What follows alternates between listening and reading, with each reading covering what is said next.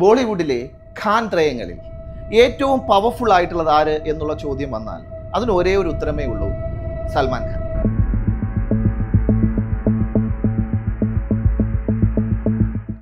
Powerful മാത്രമല്ല വളരെ കലിപ്പനായിട്ടുള്ള ഒരാൾ തന്നെയാണ് സൽമാൻ ഖാൻ എന്നുള്ളത് പലതവണ തെളിയിക്കപ്പെട്ടതാണ്. നമ്മുടെ സോഷ്യൽ മീഡിയയിലൂടെ കണ്ടിട്ടുള്ള നിരവധി വീഡിയോകളിൽ ചില ഗെറ്റ് ടുഗദർ പാർട്ടികളിൽ ചില ഓഡിയോ ലോഞ്ച് ഫംഗ്ഷനുകളിൽ ഒക്കെ തന്നെ പബ്ലിക് ഫംഗ്ഷനിൽ പലതവണ ഇദ്ദേഹത്തിന്റെ കലിപ്പ് സ്വഭാവം കണ്ടിട്ടുള്ളത് തന്നെയാണ്. ഇഷ്ടമല്ലാത്ത ഒരു പാപ്പരാസി ഫോട്ടോഗ്രാഫർ ഒരു ഫോട്ടോ എടുക്കാൻ ശ്രമിച്ചാൽ പോലും അദ്ദേഹത്തിന്റെ ഒരു ഷാർപ്പ് ലുക്ക് മതി അവർ ഒന്ന് വിറച്ചു പോകുന്ന തരത്തിലുള്ള ആറ്റിറ്റ്യൂഡ് തന്നെയാണ് സൽമാൻ ഖാനുള്ളത് അത്തരത്തിൽ വളരെ പവർഫുൾ ആയിട്ടുള്ള സൽമാൻ ഖാന്റെ വീടിന് നേരെ ഈ കഴിഞ്ഞ ഏപ്രിൽ പതിനാലാം തീയതി രാത്രി ഒരു വെടിവെപ്പുണ്ടായി. സൽമാൻ ഖാനെ കൊല്ലുന്നതിന് വേണ്ടി ലക്ഷ്യം വെച്ചാണ് അവിടെ എത്തിയത്. അത്തരത്തിൽ വെടിയുതിർത്ത രണ്ടുപേരെ പിന്നീട് പോലീസ് പിടികൂടി. അതിലൊരാൾ പിന്നീട് കുറച്ച് ദിവസങ്ങൾക്കുള്ളിൽ മരണപ്പെടുകയും ചെയ്തു. അത് ആത്മഹത്യ ചെയ്തതാണ് എന്നും അതല്ല പോലീസിന്റെ ക്രൂരമായ മർദ്ദനത്തിലൂടെ പോലീസ് കസ്റ്റഡിയിൽ തന്നെ കൊല്ലപ്പെട്ടതാണ് എന്നുമൊക്കെ നിരവധി ഭാഷ്യങ്ങൾ പുറത്തു വന്നിട്ടുണ്ട്. എന്നാൽ സൽമാൻ ഖാനെ കൊല്ലാനായിട്ട് ഇത്രത്തോളം പവർഫുൾ ആയിട്ടുള്ള ഒരു വ്യക്തിയെ അറ്റാക്ക് ചെയ്യാൻ അത്രത്തോളം ധൈര്യമുള്ളതാര്? അതിന് ആ സമയത്ത് ഉയർന്നു കേട്ട മറ്റൊരു പേരാണ് ലോറൻസ് ബിഷ്ണോയ് ആരാണ് Lawrence Bishnoi welcome to D three media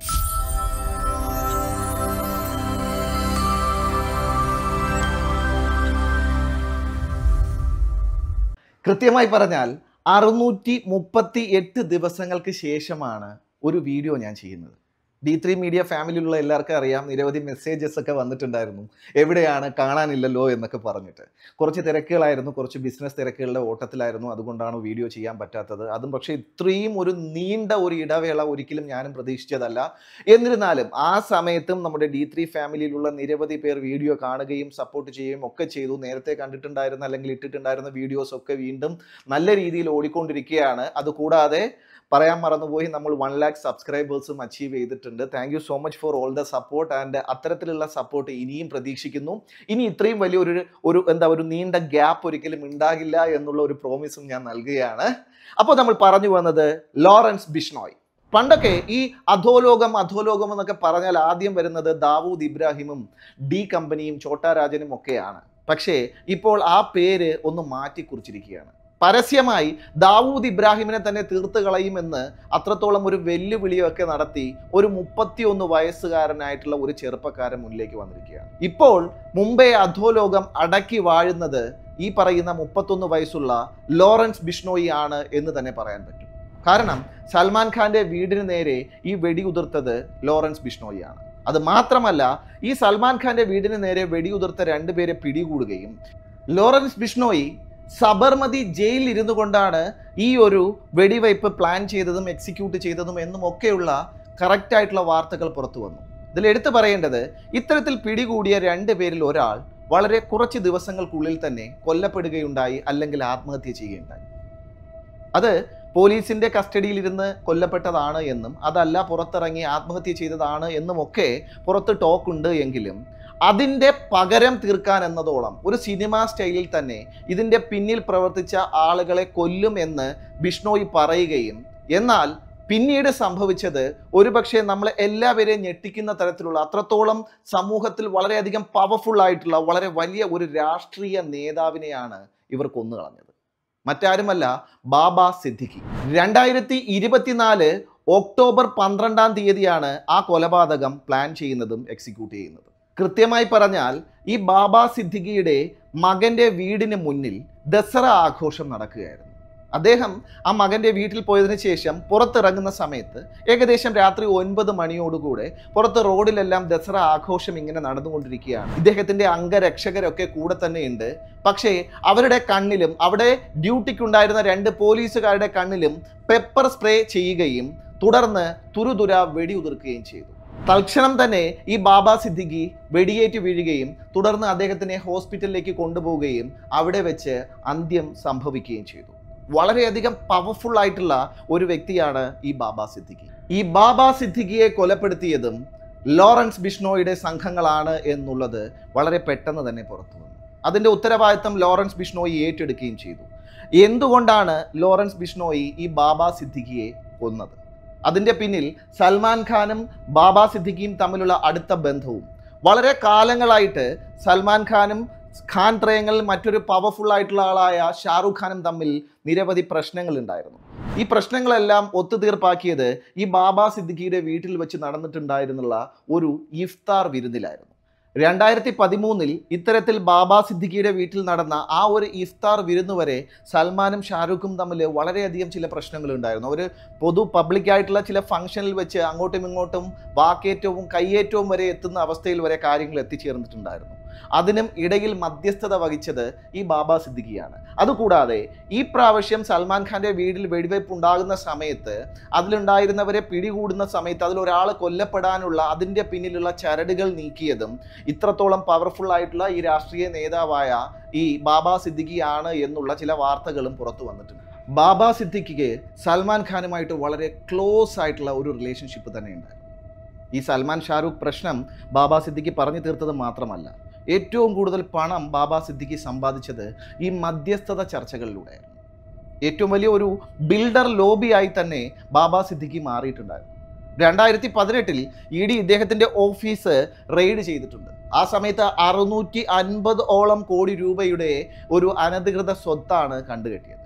പിന്നീട് പിരമിഡ് എന്ന് പറയുന്ന ഒരു ഗ്രൂപ്പ് പിരമിഡ് ബിൽഡേഴ്സുമായിട്ട് ചേർന്ന് നടത്തിയ കുംഭകോണം രണ്ടായിരം കോടിക്ക് മുകളിലാണ് എന്നുള്ളതാണ് പുറത്തു വരുന്ന വിവരങ്ങൾ. അദ്ദേഹത്തിനെ കൊലപ്പെടുത്തിയത് മാത്രമല്ല അദ്ദേഹത്തിന്റെ മകനെയും കൂടെ കൊല്ലാനായിട്ട് പ്ലാൻ ഉണ്ടായിരുന്നു എന്ന് ഈ പിടിയിലായവർ പറയുമ്പോൾ സൽമാൻ ഖാനുമായിട്ടുള്ള ആ ഒരു പ്രശ്നത്തിൽ മാത്രമാണോ ബിഷ്ണോയി ഇദ്ദേഹത്തിനെ കൊലപ്പെടുത്തിയത് എന്നുള്ള ആ ഒരു ചോദ്യം ഉയർന്നു നിൽക്കുന്നു. ഈ സബർമതി ജയിലിനുള്ളിൽ കഴിയുകയാണ് എങ്കിലും അവിടെ ഇരുന്നു കൊണ്ട് ഇത്രത്തോളം കാര്യങ്ങൾ എല്ലാം അറിയാനും അവയൊക്കെ കൈകാര്യം ചെയ്യാനും അതുകൂടാതെ തന്നെ എതിരെ വരുന്നവരെ കൊന്നു തള്ളാനും ഒക്കെയുള്ള ഒരു പവർഫുൾ ആയിട്ടുള്ള ഒരു അവസ്ഥയിലേക്ക് ഈ ലോറൻസ് ബിഷ്ണോയി വളർന്നു എന്നുള്ളതിന്റെ ഏറ്റവും ഒടുവിലത്തെ ഉദാഹരണം തന്നെയാണ് ബാബ സിദ്ദിഖിയുടെ വധം. ഇതിനു മുന്നേ സിദ്ധു മൂസാവാല എന്ന് പറയുന്ന ഒരു പഞ്ചാബി സിംഗറെയും ഇത്തരത്തിൽ വെടിവെച്ച് കൊന്നതിന്റെ പിന്നിലും ഈ ലോറൻസ് ബിഷ്ണോയി സംഘം തന്നെയാണ്. എന്തിനാണ് ലോറൻസ് ബിഷ്ണോയിക്ക് ഈ സൽമാൻ ഖാനോട് ഇത്രയധികം വൈരാഗ്യം? ഇത്തരത്തിലുള്ള ഒരു പ്രശ്നം എപ്പോഴാണ് ഉടലെടുക്കുന്നത്? അതൊരു വലിയ കഥയാണ്. ആയിരത്തി തൊള്ളായിരത്തി എൺപത്തി ഒൻപതിൽ പുറത്തിറങ്ങിയ മേനെ പ്യാർക്കിയ എന്നുള്ളൊരു സിനിമ. ഏകദേശം രണ്ട് വർഷം കഴിയുമ്പോൾ ആയിരത്തി തൊള്ളായിരത്തി തൊണ്ണൂറ്റി ഒന്നിലെ സാജൻ എന്ന് പറയുന്ന സൂപ്പർ ഡ്യൂപ്പർ ഹിറ്റ്. ഇത് രണ്ട് കഴിയുമ്പോൾ തന്നെ ഈ ബോളിവുഡിൽ തന്റെതായിട്ടുള്ള ഒരു സ്ഥാനം ഉറപ്പിച്ചിട്ടുണ്ടായിരുന്നു സൽമാൻ ഖാൻ. പിന്നീട് തന്റെ ബോഡി ബിൽഡിങ്ങും ശരീര സൗന്ദര്യവും ഒക്കെ പുറത്തു കാണിച്ച് കൂടുതൽ ആരാധകരെ തന്നിലേക്ക് അടുപ്പിക്കാൻ സൽമാൻ ഖാന് കഴിഞ്ഞു. അദ്ദേഹത്തിന്റെ കത്തി നിൽക്കുന്ന ഒരു സമയം തന്നെയാണ് എന്ന് പറയാം. ആയിരത്തി തൊള്ളായിരത്തി തൊണ്ണൂറ്റി മൂന്നാകുമ്പോൾ ഹം സാത് കെ എന്ന് പറയുന്ന ഒരു സിനിമയുടെ ഷൂട്ടിങ്ങിന്റെ ലൊക്കേഷനിൽ ഷൂട്ടിംഗ് എല്ലാം കഴിഞ്ഞ് ഈവനിങ്ങിൽ ഈ നായാട്ടിന് പോകുന്ന ഒരു ശീലം ഇദ്ദേഹത്തിന് ഉണ്ടായിരുന്നു. അങ്ങനെ സൽമാൻ ഖാനും തന്റെ കൂട്ടത്തിൽ അഭിനയിക്കുന്ന കുറേ നടീനടന്മാരുമായിട്ട് സൽമാൻ ഖാന്റെ ജിപ്സിയിൽ ഇവർ ഒരു ഇത്തരത്തിലൊരു നായാട്ടിന് പോവുകയാണ്. ഈ നായാട്ടിന് പോകുന്നതിനിടയിൽ ഇദ്ദേഹം ഒരു മാനിനെ വെടിവെച്ചു വീഴ്ത്തി. വളരെയധികം റയറായിട്ടുള്ള അല്ലെങ്കിൽ വംശനാശം സംഭവിച്ചുകൊണ്ടിരിക്കുന്ന കൃഷ്ണമൃഗത്തെയാണ് വെടിവെച്ചു വീഴ്ത്തിയത്. ഈ കൃഷ്ണമൃഗത്തിന് മറ്റൊരു പ്രത്യേകതയുണ്ട്. ബിഷ്ണോയ് എന്ന് പറയുന്ന ഈ സമുദായം അല്ലെങ്കിൽ ഈ ഒരു വിഭാഗത്തിന്റെ അവരുടെ ഏറ്റവും വലിയ പുണ്യ മൃഗമായിട്ട് കാണുന്നതാണ് ഈ കൃഷ്ണമൃഗം. അതുകൂടാതെ ഈ ബിഷ്ണോയി വിഭാഗത്തിന്റെ ആത്മീയ ഗുരുവായി അറിയപ്പെടുന്ന ജംബാജിയുടെ ഒരു പുനർജന്മമാണ് ഈ കൃഷ്ണമൃഗം എന്നും അവർ വിശ്വസിക്കുന്നു. ഈ സൽമാൻ ഖാൻ വെടിവെച്ചു കൊന്ന ആ കൃഷ്ണമൃഗത്തിന്റെ പേരിൽ ഒരു ക്ഷേത്രം തന്നെ അവർ അവിടെ നിർമ്മിക്കുകയുണ്ടായി. അപ്പോൾ അത്രത്തോളം തങ്ങളുടെ ഈ ഒരു വിഭാഗത്തിന്റെ ഏറ്റവും വലിയ പുണ്യമായി കരുതുന്ന ഈ ഒരു കൃഷ്ണമൃഗത്തെ വേട്ടയാടിയ സൽമാൻ ഖാനെ കൊല്ലുമെന്ന് അന്നൊരു അഞ്ചു വയസ്സ് മാത്രം പ്രായമുള്ള കൊച്ചു ആൺകുട്ടി വിളിച്ചു പറയുകയുണ്ടായി. ആ സമയത്ത് അതായത് ഈ ആയിരത്തി തൊള്ളായിരത്തി തൊണ്ണൂറ്റി മൂന്ന് കാലഘട്ടങ്ങളിൽ ഇത്തരത്തിലുള്ള ഒരു ഇൻസിഡന്റ് സൽമാൻ ഖാൻ ചെയ്യുന്ന സമയത്ത് വേറെ അഞ്ചു വയസ്സിന് അകത്ത് പ്രായമുണ്ടായിരുന്നു ഈ ലോറൻസ് ബിഷ്ണോയ്ക്ക്. ആ സമയം മുതൽ സൽമാൻ ഖാനെ കൊല്ലും ഞാൻ കൊല്ലും അതാണ് എന്റെ ജീവിത ലക്ഷ്യം എന്ന് പറഞ്ഞ് ഇത്തരത്തിൽ വിളിച്ചു പറയുന്ന ആ ഒരു ആൾ തന്നെയാണ്. ഇപ്പോൾ ഏകദേശം മുപ്പത്തി ഒന്ന് വയസ്സെത്തുന്ന സമയത്ത് തന്റെ ജീവിതത്തിൽ നിരവധി ഘട്ടങ്ങൾ കടന്നുപോയി.